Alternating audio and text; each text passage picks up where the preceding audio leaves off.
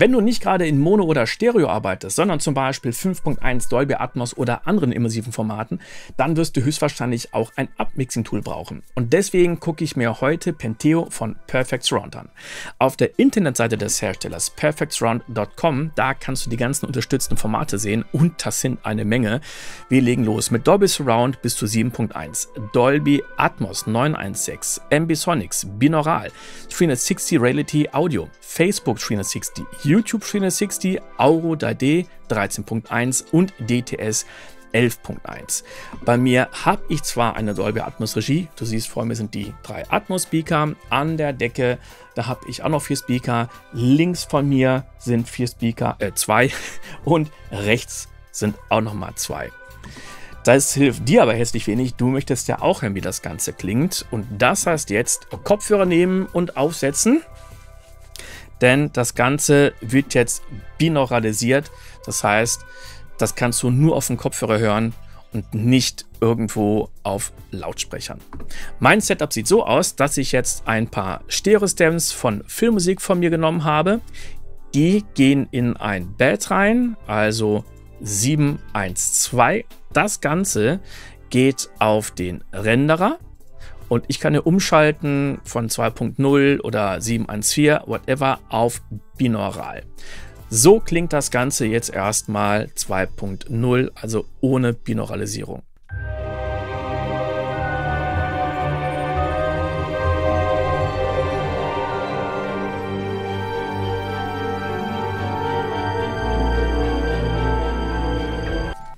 Jetzt schalte ich die Binauralisierung mal ein.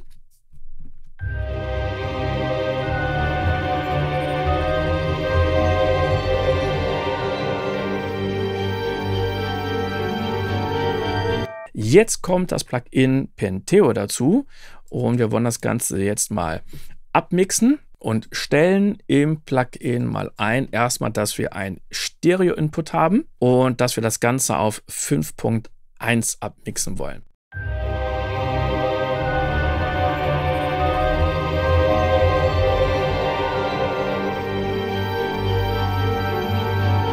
Ja, Anders aber nicht besser, ne? Okay, da ist eine kleine Falle. Das ist kein Bug, sondern man muss zuerst in die Settings gehen und dann die richtige Input-Order und Output-Order einstellen. Das wäre schön gewesen, wenn man das synchronisieren kann, aber ich konnte mit klar. Und jetzt stelle ich hier ein Left, Right, Center LFE. Das ist die zweite Auswahlmöglichkeit. Wir hatten jetzt Left, Center, Right. Dann habe ich natürlich die Kanäle auf den falschen Kanälen. Also dasselbe machen wir bei Input und Output.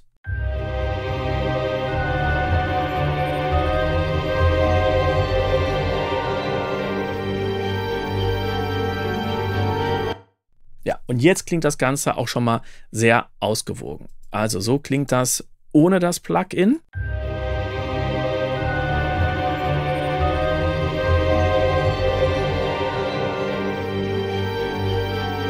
Und mit dem Plugin.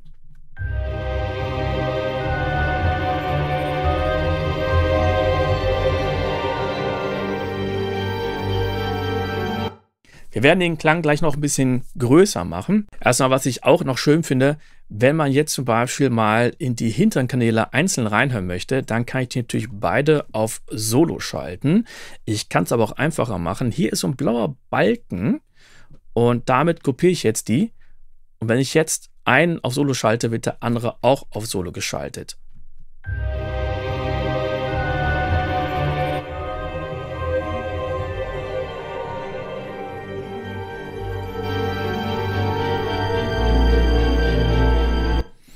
Also das ist wirklich praktisch, dass ich direkt damit einige Gruppen ein- und ausschalten kann.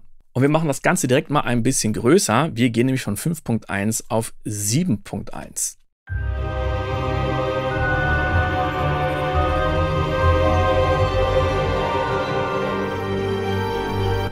Und ich muss gestehen, dass manchmal der Unterschied bei der Binauralisierung nicht so immens ist.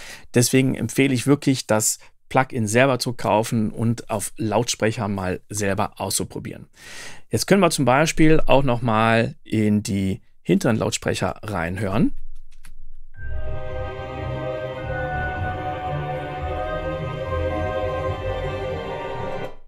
oder in die Seiten.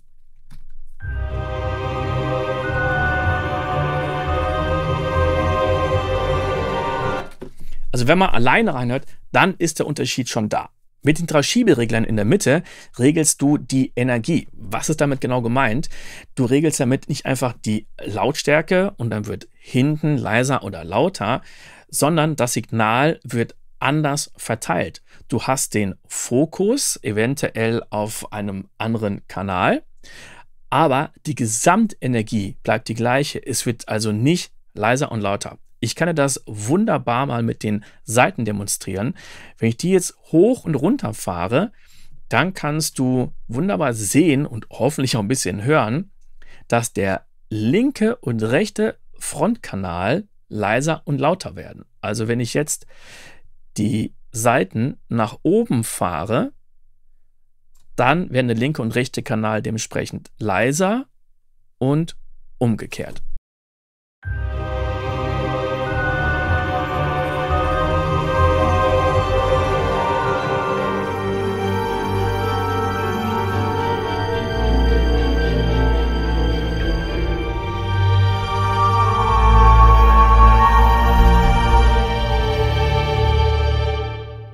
Und ich finde, man konnte das auch wunderbar hören. Manchmal klang es wirklich mehr so, dass der Sound von vorne kommt und manchmal eher ein bisschen verwaschener, weil er von hinten gekommen ist. Als nächstes gucken und hören wir uns einmal den Center an und der hat drei verschiedene Modi. Default, das ist der frühere Musikmodus, da wird der Center ein bisschen aufgefüllt.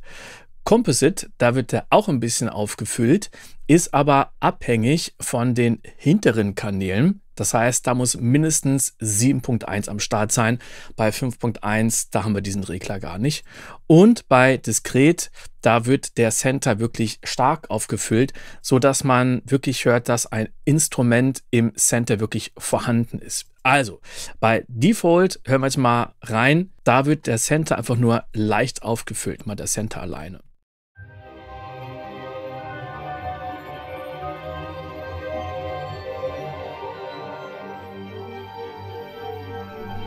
Und mal gucken, wie groß der Unterschied ist, wenn ich jetzt links und rechts dazu nehme und wir jetzt den Center dazu haben und dann gleich mal wieder ausschalten.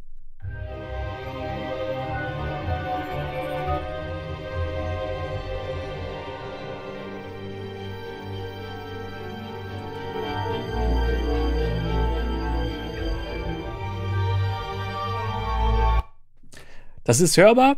Wenn ich das Ganze auf den Lautsprechern mache, dann fällt es vor allen Dingen dann auf, wenn es weg ist. Also der Center wird leicht aufgefüllt.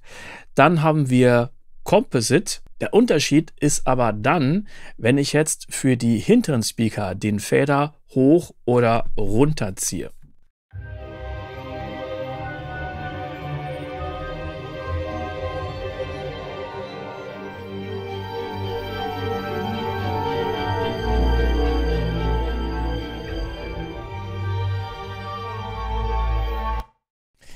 Sorgt einfach noch ein bisschen dafür, dass der Klang ein bisschen ausgewogener ist und das Signal, was ich hinten habe, auch ein bisschen nach vorne lege, damit es nicht ganz so unausgewogen ist. Kann man aber sicher einstellen, wie man möchte. Und dann haben wir noch den dritten Algorithmus, Discrete. Und da wird der Center viel lauter dazugefahren. Also bis jetzt war es so, dass einfach nur ein ja, Loch leicht aufgefüllt wurde und dass es nur dann auffiel, wenn man es ausgeschaltet hat. Und jetzt bei Discrete ist der Center wirklich hörbar.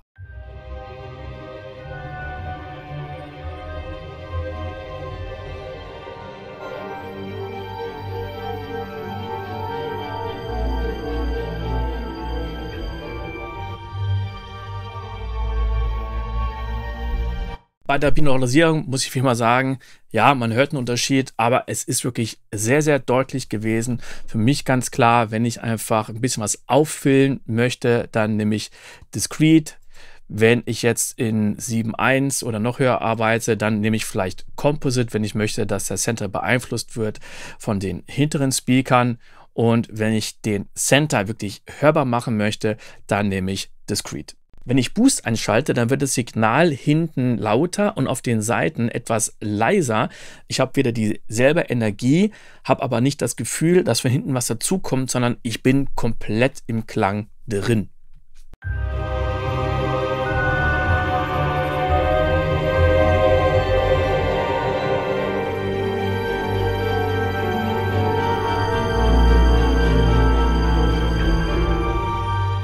Jetzt wird's tiefer. Und zwar mit dem LFE. Da gibt es insgesamt drei verschiedene Modi. Off, glaube ich, muss ich nicht erklären. Und das zweite ist Boost. Bei Boost, da wird einfach auf den LFE-Signal hinzugefahren und wir haben hier noch verschiedene Trennfrequenzen, 63 Hertz, 80, 100, 125, 160 und 200 und ich wähle mal 125 aus und fahre das Signal jetzt langsam dazu.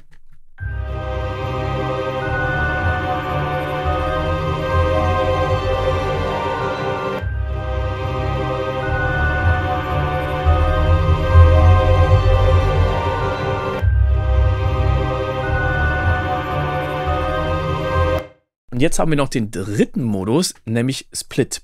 Und da wird alles das, was ich jetzt auf den LFE draufgebe, von den anderen Kanälen weggenommen. Ich stelle das Ganze jetzt mal auf 200 und wir hören jetzt nur den linken und rechten Kanal und jetzt schiebe ich langsam den LFE rein. Den hören wir nicht, wir hören nur den linken und rechten Kanal, aber je mehr ich den LFE reinschiebe, umso weniger Basssignale sollte ich jetzt hören.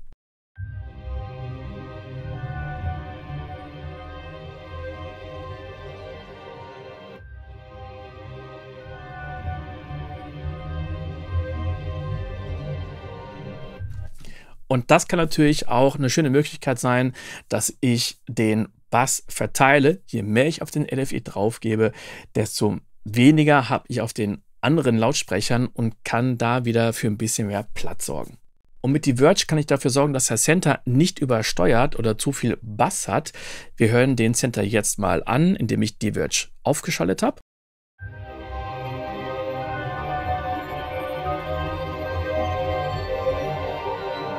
Also viel Bass. Und jetzt werden die Bassfrequenzen auf den linken und rechten Kanal verteilt. Das heißt, der Center hat jetzt weniger Bass.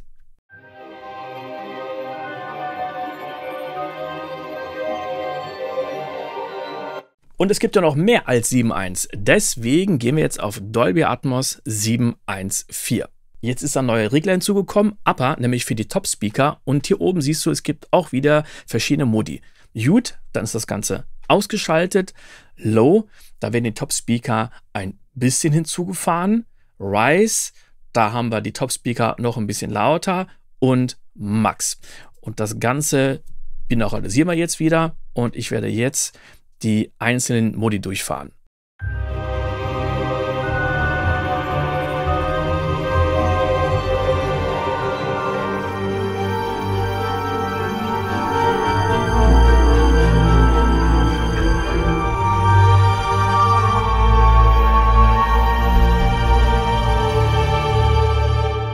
Unten haben wir noch drei Knöpfe. Erstens Dropbox. Damit wird versucht, aus dem Center alle stimmähnlichen Signale nicht auf die Top-Speaker zu geben, zum Beispiel Dialog oder Gesang.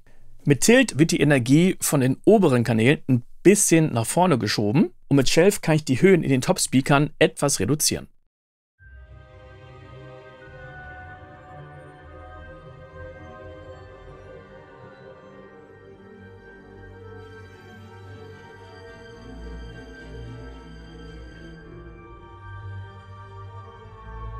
Die Eingangslautstärke kann ich für alle Kanäle mit diesem Dreieck gleichzeitig einstellen oder pro Kanal kann ich auch dieses Rechteck hier anfassen und dann damit den Input separat einstellen. Beim Output habe ich eigentlich nur dieses Dreieck, um damit den Output für alle Kanäle gleichzeitig einzustellen. Wenn ich das einzeln machen möchte, da muss ich zuerst auf Gain gehen. Jetzt habe ich hier dieselben Regler wie beim Input und ich bekomme aber diese Warnmeldung, dass eventuell der Downmix, wenn er irgendwann erstellt wird, nicht mehr 100% perfekt ist. Jetzt haben wir die ganze Zeit die Binauralisierung mit dem Dolby Atmos Renderer gemacht, aber es kann ja sein, dass du gar kein Binauralisierungs-Plugin hast und da kann der Penteo auch weiterhelfen. Das kannst du nämlich einfach im Plugin machen. Den Kopfhörer können wir noch nicht anwählen, dafür gehen wir erstmal kurz in die Settings, wählen Enable Binaural. Das braucht ein bisschen Rechenleistung, deswegen ist das von Haus aus aus. Dann deaktivieren wir hier die Binauralisierung im Atmos Renderer und hier bei Penteo machen wir sie an.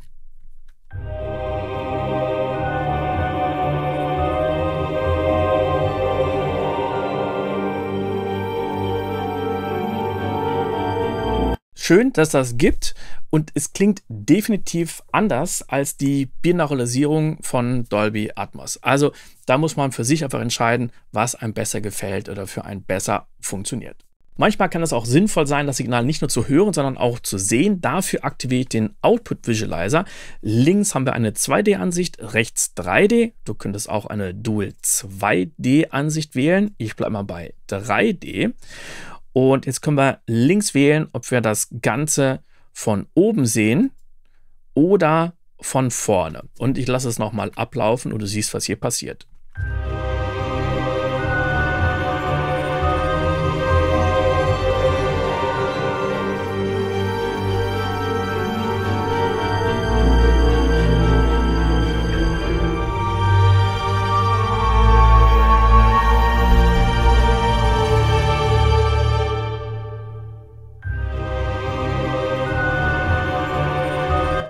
Du siehst, dass das Thema Upmixing sehr, sehr komplex sein kann. Und das Coole ist, Penteo kann nicht nur als Upmixer, sondern auch als Downmixer fungieren.